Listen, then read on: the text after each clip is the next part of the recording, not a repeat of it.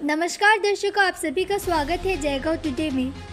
इस वक्त हम आए हुए जयगांव के हनुमान मंदिर में, जहाँ पे आज जयगांव मर्चेंट एसोसिएशन की ओर से जनरल मीटिंग की गई थी, जिसमें उन्होंने आज सप्ताह बंदी के साथ साथ कई अहम मुद्दों पर चर्चा की। चलिए जानते हैं यहाँ के सदस्यों से इस मीटिंग के बारे में। नमस्कार, आप सभी को। आज की मीटिंग जैसा कि हम लोगों ने बताया, हमारी नई कार्यकारिणी को एक साल का समय पूरा हो गया था और इस एक साल के कार्यकाल के दौरान संस्था ने व्यापारी हित में बाज़ार के लिए जो जो कार्य किए, उन पर सभी को सचिव रिपोर्ट के माध्यम से हम लोगों ने जानकारी रखी, जो जो कार्य किए गए थे। और हम लोगों का एक वो जो विषय था आज की मीटिंग में, साप्ताहिक बंदी को लेकर के, उस पर हम लोग एक निर्णय किए ताकि वो साप्ताहिक बंदी आने वाले समय में हम लोग पूर्ण रूप से लागू कर सकें। हम लोग का आज का मीटिंग में जो पारित होने वाला जो विषय था साप्ताहिक बंदी को लेकर के, वो पारित किया गया कि आने वाले दुर्गा पूजा और दीपावली और छठ पूजा के समय तो दुर्गा पूजा का जो पहला नवरात्रा होता है, उस समय से लेकर के छठ पूजा तक मार्केट की बंदी को मुक्त रखा जाएगा। उस समय मार्केट में जो साप्ताहिक बंदी होती है, वो नहीं होगी। और जो आगे स्कूल सीज़न आता है, जो भूटान का स्कूल की छुट्टियाँ होती है 20 दिसंबर से 28 फरवरी तक, उस दौरान बाज़ार को बंदी से मुक्त रखा जाएगा। उसके साथ ही जो सदस्यों की ओर से कुछ सुझाव आए थे, उन सुझावों पर भी हम लोगों ने अमल किया। आने वाले टाइम में हम लोग उन पर सब नोट करके आगे बढ़ेंगे। जो देखा जाता है कि जो बंदी जो होती है, सोमवार के में कितने दुकानें खुला रहती है। तो उसके बारे में आपको आज क्या निर्णय किया इसके बारे में हम लोग निर्णय लिए। हम लोग इसको जो है, इस बार कड़ाई से जो है, नियम का पालन किया जाएगा। सभी लोग सहमत थे। यदि फिर भी मतलब यदि बंदी, एक दो दुकानदार यदि कोई इसका उल्लंघन करता है तो प्रथम हम उनके पास जाएँगे। उनका गांधीगिरी से स्वागत करेंगे। उनका फ़ोटो हम लोग ग्रुप में डालेंगे। हम लोग फिर प्रयास करेंगे कि आइंदा आप लोग ऐसा मत कीजिए। वरना ऐसा करने से संस्था के ये हित में नहीं है और आने वाले टाइम में यदि आप इससे भी मतलब नहीं अपना नियम का पालन करेंगे तो हम लोग फिर फाइन का प्रावधान भी आज की मीटिंग में लिए नहीं, फुटपाथ को बारे में ऐसा, जैसे कि सोमवार को हमारे कई दुकानदार भाई अपना दुकान का सामान निकाल करके अपना स्टाफ वगैरह को या कोई कोई खुद दुकान लगा लेता है। तो हम लोगों ने आज की मीटिंग में निर्णय लिया है कि दुकानदार भाई यदि ऐसा करते हैं तो हम लोग ऐसा नहीं होने देंगे।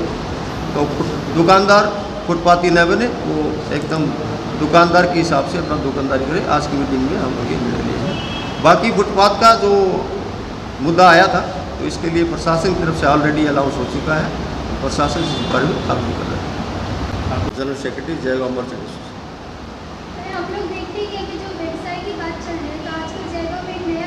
पेट्रोल, लोग देखते हैं पेट्रोल बेच खुलेआम इस बारे में कुछ कहना चाहेंगे?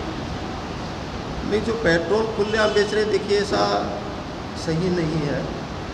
कल परसों उस चीज़ को लेकर के शायद आगजनी का घटना घटा है देखने में आया तो इसके लिए तो प्रशासन यदि इलीगल रूप से कोई कार्य कर तो प्रशासन स्टेप उठाएगा ये हम लोग के मर्चेंटेशन के दायरे में आता है। ऐसा होना नहीं चाहिए। नहीं, हम लोग यही कहना चाहेंगे, जो कार्य हो, वो कानून के हिसाब से हो गैर कानून कोई काम नहीं होना चाहिए। आज का जो हम लोगों का साधारण सभा, वार्षिक साधारण सभा था, एक साल नई कार्यकारिणी का हमारा पूरा हुआ, उसके ये में जो आज रखा गया था। एक साल का ब्यौरा अपने जो है साधारण सदस्यों को दिया गया साधारण सदस्यों के द्वारा भी कुछ अपना इशू जो है वो हाउस में दिए। उसका समाधान करने का हर चीज़ प्रयास किया गया। सब मिला करके हमारा एक ही मूल मंत्र है कि व्यापारी एकता, हम लोगों में आपस में एकता कैसी बनी रहे। हम लोग जो है व्यापार करते हुए प्रशासन को कैसे सहयोग करें। कोई भी चीज़ में प्रशासन जो है आगे बढ़ता है जो हमारे व्यापार के हित में है हम प्रशासन को सहयोग करते हैं। पहले भी करते थे आज भी करते हैं आगे भी करते हैं।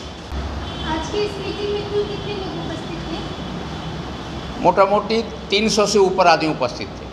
देखा जाता है कि कि मार्केट में जो ज़्यादा करके जो कूड़ा कचरा फेंका रहता है वो मार्केट के व्यवसायियों का होता है। उनमें कई ज़्यादा प्लास्टिक कैटलॉग इस तरह की चीज़ें भी रहती है तो अगर ऐसा अगर कोई व्यवसाय कर रहा है तो उसके ऊपर क्या कार्रवाई की जाएगी प्रशासन जो कार्रवाई कर रहा है, हम लोग उसको समर्थन करते हैं। ख़ास तौर से जो है गार्बेज का जो बात है, कूड़ा करकट का बात है, हमारे दुकान से कार्टून निकलता है और प्लास्टिक का कुछ कवर निकलता है। कार्टून आज के दिन में भी जो है, पंद्रह से बीस रुपये किलो आकर के लेकर के चले जाते हैं लोग। उससे थोड़ा बचता है तो जो जबड़ा चुनने वाले लेकर के चले जाते हैं। हमारा होटल व्यवसायी है। होटल व्यवसायी जो है, जो जबड़ा उठाते हैं, उनको अलग से एक्स्ट्रा पैसा दे करके अपना जो है, उठा लेते हैं। वो चला जाता है। वो रोड पर नहीं आता है। केवल मेन रोड से संबंधित जो वार्ड है, वहाँ से जो है, जबड़ा आता है, जैसे सब्ज़ी का ये आता है या किसी प्रकार का प्लास्टिक का कैरी बैग में भर करके आता है तो अधिकतर घरों से निकलता है और जो सफ़ाई कर्मी जो है ला करके जो है रोड पर रख देते हैं। तो मेन चीज़ ये है कि जो भी कोई जबड़ा है, हमारा दुकानदार का कोई जबड़ा नहीं है।